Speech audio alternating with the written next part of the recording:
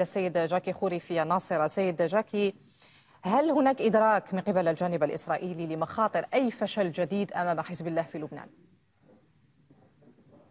يعني واضح أنه هذا الأمر الآن منوط بما تخبئه الأيام القريبة القادمة وبمدى النجاحات يعني بالوجهة النظر الإسرائيلية يعني حتى الآن يجب أن نقول هذا بشكل واضح الشعور العام إسرائيليا حتى الساعة حتى هذه اللحظة رغم الصواريخ التي أطلقت باتجاه الأراضي الإسرائيلية خلال الساعات الأخيرة أن هنالك يعني تطور وتقدم كبير بالنسبة للجيش الإسرائيلي وكذلك الاختراق من الناحية الاستخباراتية بمفهوم أن الرأي العام في إسرائيل الآن يتبنى وجهة النظر العسكرية والسياسية وأن هنالك مجال الآن للتقدم أكثر وأكثر في الاختراق العسكري والاستخباراتي وتوجيه الضربات الموجعة. كما أعود وأكرر مرة أخرى بوجهة النظر الإسرائيلية لحزب الله. طالما ردود الفعل تظهر حتى الآن يعني حتى هنالك عدد من المراقبين والمحللين الإسرائيليين وأقولها بصراحة يتبجحون في الساعات الأخيرة أن القدرة الصاروخية لحزب الله باتت محدودة وبالتالي إمكانية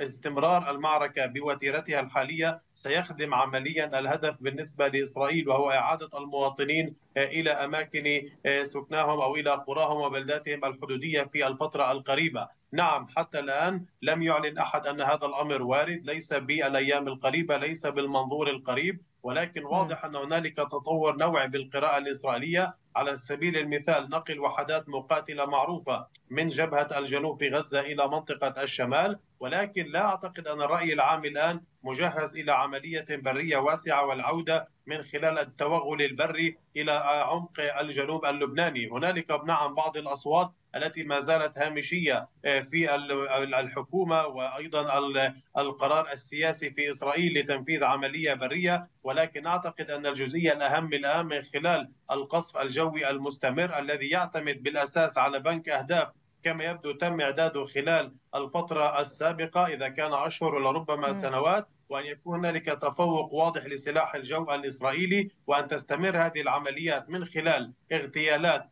لقيادات سياسية وعسكرية بارزة في حزب الله استهداف المنشآت ومنصات الصواريخ وكذلك الصواريخ طويلة المدى في محاولة للوصول إلى ميزان ردع جديد. يمكن بعد ذلك الدخول في نوع من التسوية السياسية ويجب أن ننتبه إلى هذه الجزئية. إذا نظرنا إلى الحرب في قطاع غزة وما حصل منذ الساعة الأولى منذ اليوم الأول كنا نستخدم عبارة الوسيط المصري والوسيط القطري ومحاولة التدخل أمريكيا صحيح. للجم الحرب وإنهائها وهذا ما لم يحدث حتى الآن بذكر اسم. من هو الوسيط الآن؟ في الجبهة الشمالية. هل عاموس هوكشتن الوسيط العرابي الأمريكي ما زال اسمه مطروح أم هو جزء من ما يحدث الآن على الأرض وأيضا في الجو طيب أنت, أنت كيف تفسر سيد جاكي؟ آخر زيارة لهوكستن للمنطقة كان في تل أبيب ثم غادر. رجل يبدو كأنه هرب يعني لم يذهب حتى للبنان يعني وبعدها جاءت تفجيرات اللاسلكي وتفجيرات أجهزة النداء.